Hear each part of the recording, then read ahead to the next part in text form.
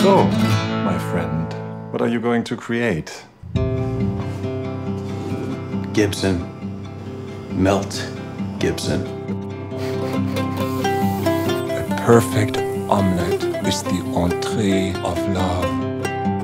What do you do for fun? I do omelets. I'm an omeletier. You have spectacle in you. If I had to define what I do and why I do it into one word, it would be love. Everything that matters comes from the heart. I'm a little jealous of the omelets. My girlfriend's going to college, and I'm gonna have to compete with these college boys trying to get into her pants. You are one scrappy little romantic. You have a blood diamond? Yeah. Right! Tonty! How's it going?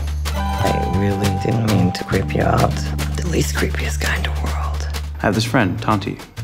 He's a trouble magnet. He got out of prison? Yes. I even ran over a homeless guy to get to you. Viggo decides to tell Tonty what happened between Christina and this guy from college that she's been seeing. She's gonna stay away from Tanner from now on.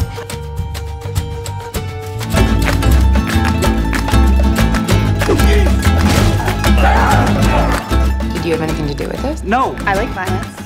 What